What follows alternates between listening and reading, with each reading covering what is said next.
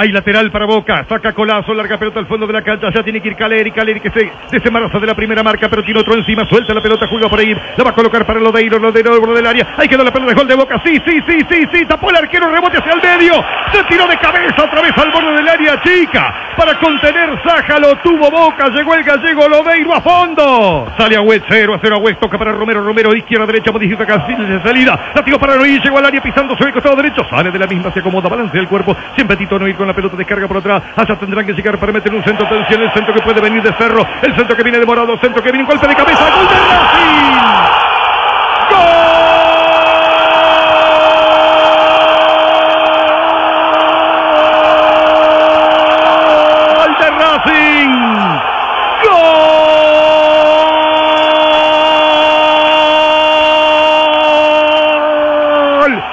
De la Academia Racing Club en el arranque del partido. Cinco minutos. Cinco minutos de comenzado el espectáculo. Racing le está ganando a Boca por 1 a 0. En una llegada a fondo le hicieron bien, la resolvieron mejor todavía. Se juegan cinco minutos, repito amigos. ¿Quién la envió finalmente, muchachos? Acuña. Acuña. Acuña y estaba Acuña para meter la pelota bajo el techo de Piola. Racing le está ganando a Boca por un tanto contra cero. Y ahora Rápido salió, se armó un partidazo en Avellaneda porque había llegado la academia, llegó dos veces Boca con Tevez y con Lodeiro y ahora otra vez Racing en profundidad para empujar la cuña, para meter el primer gol del partido. Esto no termina acá. Partidazo en Avellaneda, gana Racing 1 a 0 y le saca por ahora la ilusión a Boca. Sexto gol en la academia para Acuña, quinto por torneo Zafa más uno en Copa Argentina. El campeonato lo tiene a Boca con 61, Central 56, San Lorenzo 55. el Catadías que metió el zapatazo arriba, arriba el golpe de cabeza cuando pretendía Caleri a contener Saja. Bandijas portacables Proden perforadas y bandijas de chapa galvanizadas de origen. Llámenos al 4764-4307. Hay buena marca ahora por parte de el jugador Herbe. La jugó para Teve o para Herbe. El pase que viene, ahí está el gol de Boca. ¡Gol!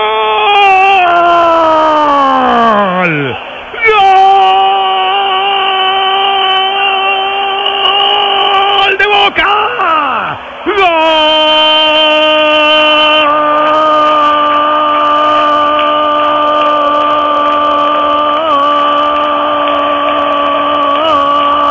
¡De Boca, de Boca, de Boca! ¡Tremendo nudo se hizo Racing en el área chica!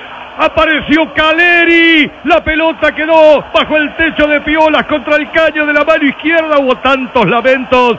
Tantos lamentos como si hubiese sido en contra. Lo festejó como suyo Caleri a los 23 minutos, amigos, de la primera parte. Ya es un partidazo. Están igualando uno a uno en el cilindro.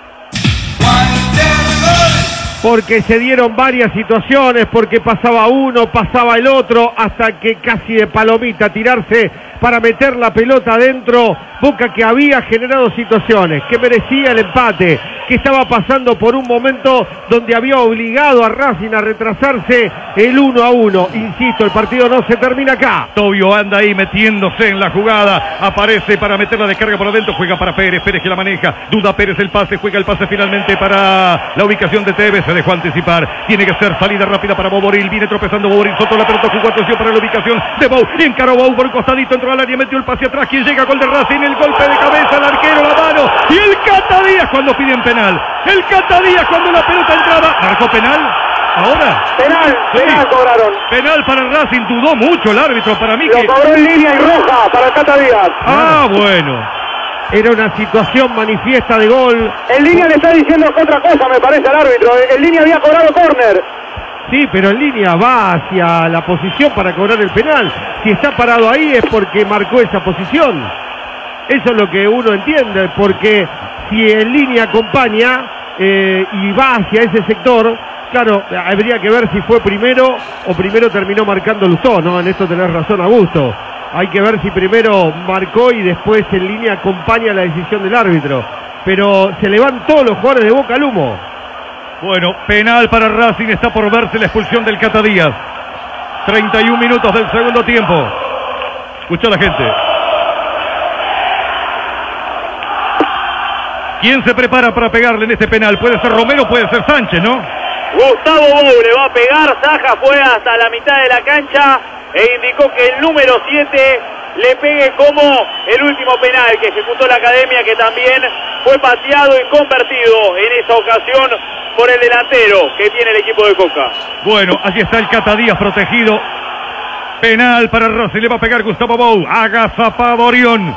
Las manos de Boca. Ahí va Bou. Corrió, tiró. ¡Gol de Racing!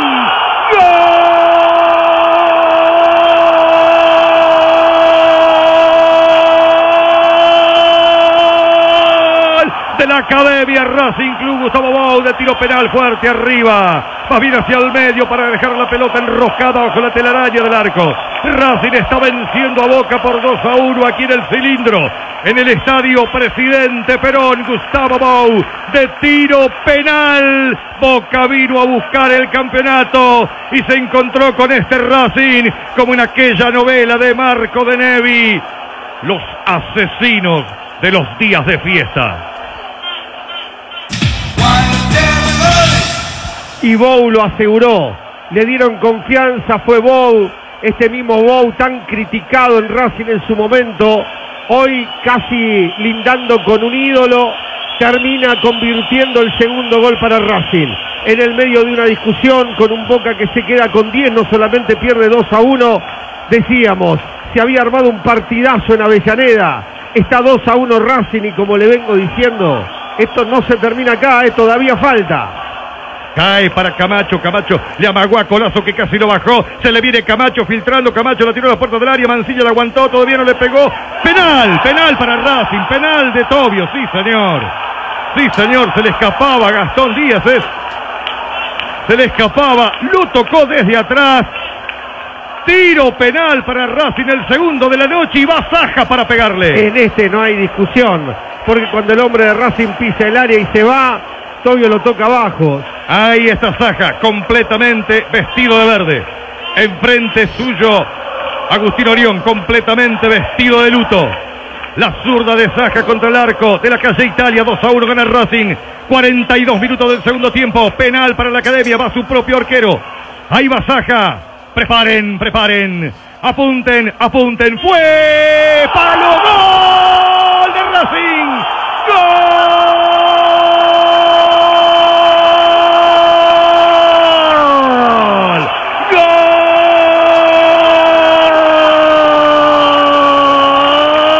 ¡Gol! De la Academia Racing Club, Sebastián Saja. Potente bajo, la pelota rebotó en la parte inferior del caño izquierdo. Caminó por la línea y se metió por el sector opuesto. 42, 42 minutos de la complementaria. Liquidado. Racing 3, Boca 1. Saja de tiro penal. Esta noche no sale humo blanco. Y fue el capitán para decirles, muchachos, así hay que rematar el partido. Un Racing que fue un fantasma de lo que había sido los primeros 45, aún teniendo jugadores en la cancha para superar a Boca. Sin embargo, le dio vida, gana ahora sí Racing 3 a 1, liquidando el encuentro. Décimo noveno gol del chino Saja, séptimo con la camiseta de Racing, tenía dos en San Lorenzo. Toca la pelota Bentancur. Este es el último minuto del partido. Y gana Racing 3 a 1. Toca la pelota Ruiz, sale por atrás. Se apoya en Orión. Necota Argentina, al cuidado de su salud con las últimas tecnologías del mercado médico. Necot.com.ar 24 segundos antes marcó el vientre de la cancha. El principal, Patricio Lustó. Señora, señor país. Esta noche no hay campeón. Perdió Boca en Avellaneda. Le ganó el Racing Club por 3 a 1. Vibraste con los relatos de Walter Gol Saavedra y los comentarios de Néstor Centra. Y el partido se acabó. Boca 61, local de Tigre, visitante de Rosario Central, Central 56, visitante de Banfield, local de Boca, San Lorenzo 55, local de Temperley, visitante de Rafaela.